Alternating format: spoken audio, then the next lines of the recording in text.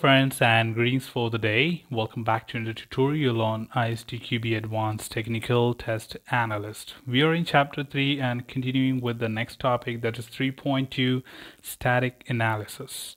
So in the previous topic 3.1 we discussed what's the difference between static analysis and dynamic analysis. Now we will get into the details of that that what exactly static and dynamic analysis is all about. So in this particular tutorial, we are talking more about one of the important prospects of static analysis.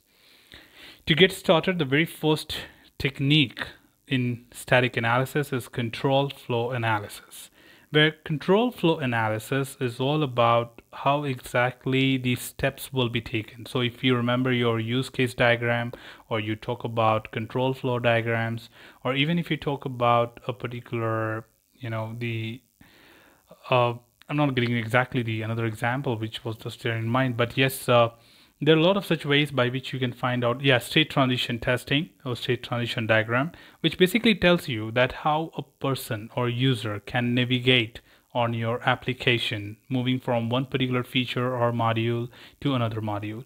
Now that's what you call it as a control flow the control to decide that how user can move from one module to another module will be analyzed using the control flow diagrams, which can be obviously helpful from use cases and state transitions moving from one particular state to another state as well. So there are a number of anomalies which can be found in a system using this technique because obviously the movements are being noticed and monitored and uh, the same can be very helpful in order to determine that what could be the possible outcome in order to decide if the user can move out of this or move into this how if the decision is met. If there is a decision the further decision will be tested with other separate techniques. And beyond that obviously you will add more value by conducting control flow analysis. Moreover these techniques generally help you to find defects much earlier in the life cycle as it is one of the static analysis approach.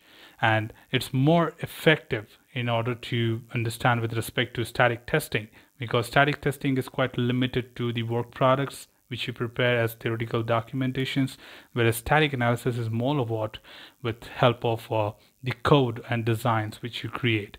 So code and design basically gives you a real-time interface and adds more value in your preparation and definitely helps you to find complex issues much easier. And generally, the control flow analysis is done with help of tools because manually it would be quite complicated to understand that.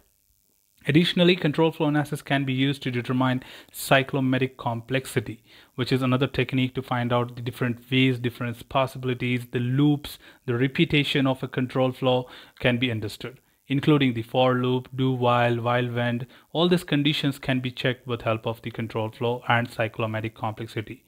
So obviously we have not discussed about cyclomatic complexities just because the constraint that it is not discussed in the syllabus it's not a part of the syllabus so i don't want to give you with anything which is not required in order to prepare for the certification Further, the cyclomatic complexity value is a positive integer which represents the number of independent paths in a strongly connected graph. So of course, any kind of possible things will be covered as a part of cyclomatic complexity so you will be able to understand more of the real-time execution of a product or an app code but practically not executing them.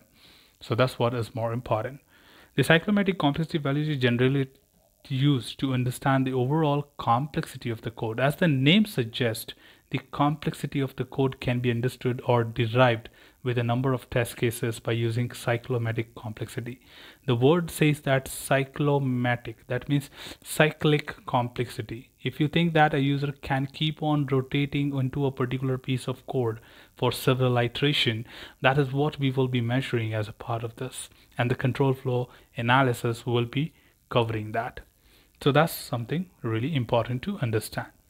The next thing here is data flow analysis, which is strictly about the data movement. Like earlier it was the user movement, now it is moving of the data from one module to another. So data flow analysis covers a variety of techniques which gather information about the use of variables in a system. Now a variable in a particular code must be declared once in the beginning but it might be called at any point of time. We generally call it as inheritance or polymorphism, those kind of concepts, and you can relate it to those kind of things to address that how a variable can be actually called later in the program as well in order to use the same value or same data. That's where the data flow analysis will be quite helpful to understand how a variable is being used and further connected. The life cycle of each variable is investigated, that is right from the declaration definition, reading, evaluated, and destroyed.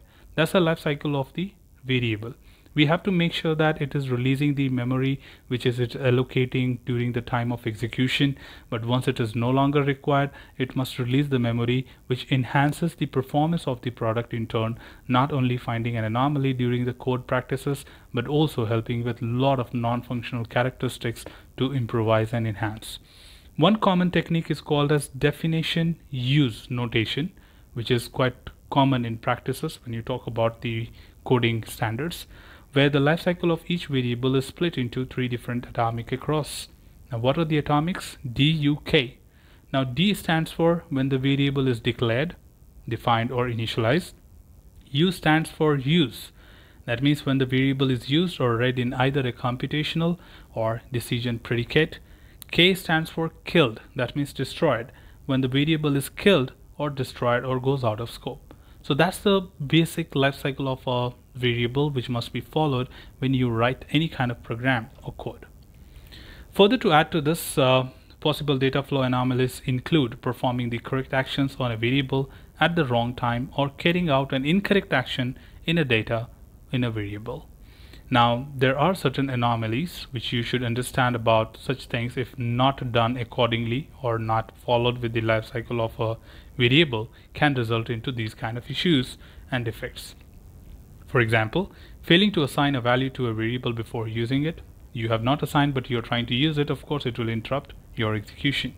Taking an incorrect path due to incorrect value in a control predicate, trying to use a variable after it is destroyed, referencing a variable when it is out of scope. So you know things which are called off and still you're trying to refer that after a program and piece of code. So you must take care of that and do not do such mistakes in order to avoid large number of defects. Declaring and destroying a variable without using it. So that means this was not at all required. So why did you declare it at all? Redefining a variable before it has been used and failing to kill a dynamically allocated variable causing a lot of memory leak. That's the main concern which we were just talking about. More or less modifying a variable which results in unexpected side effects. So sometimes it might be critical that you create something which has a lot of side effect and conflict with other parameters and values of the program. Additionally, uh, we do have some more concerns which should be taken care at the time of data flow analysis which is uh, the development language being used may guide the rules used in data flow analysis. Of course, it is driven by that. Programming languages may allow the programmer to perform certain actions with variables which are not illegal, but may cause the system to behave differently than the programmer expected under certain circumstances. So it's more important for a programmer to understand why he is he doing that or does the programming standard allow him to do that like some of the protocols which will be taken with respect to certain languages like Java, Python, Ruby, Perl, Shell. So we must you know have to have understanding of those protocols and then implement them same when you make use of such languages. Data flow testing it uses the control flow graph to explore the unreasonable things that can happen to data and uh, therefore finds different defects than control flow analysis so it has better thing because it directly gets into the core of a particular data transfer between the programs or within the programs. At this point of time, a technical test analyst should include this technique when planning testing since many of these defects cause intermittent failures that are difficult to find while performing dynamic testing. So yes, a lot of dynamic issues are due to these code analysis. So a test analyst must make sure that a proper static analysis is being done before it can move to dynamic testing. Data flow analysis is static technique. Of course, we know that it may miss some of the issues that occur as data is used in runtime system. For example, the static data variable may contain a pointer into a dynamically created array that does not even exist until runtime. So multiprocessor usage and preemptive multitasking may create race conditions which will not be found by data flow or control flow analysis. This entire thing basically talks about uh, declaring something in order to make use of it when it is actually required. Probably you declare a variable right in the beginning of a program and then you may not use it for a quite a long while and you want to use it much later in your life cycle or in your program that means that it is allocating a memory for a longer duration time probably the user may never reach there or might take a long time to reach there and thus it is degrading the response and performance of the application. So you must take care of such things and then address it accordingly. So that's all from this particular tutorial team. We had a discussion about control flow analysis and data flow analysis. We'll be getting back to you with more detail on static analysis further. So stay connected and continue for that should you have anything else beyond this feel free to comment below I'll be there to address your queries and answer them well. Till then, keep learning, keep exploring, and keep understanding the context. Thanks for watching the video team, and happy learning.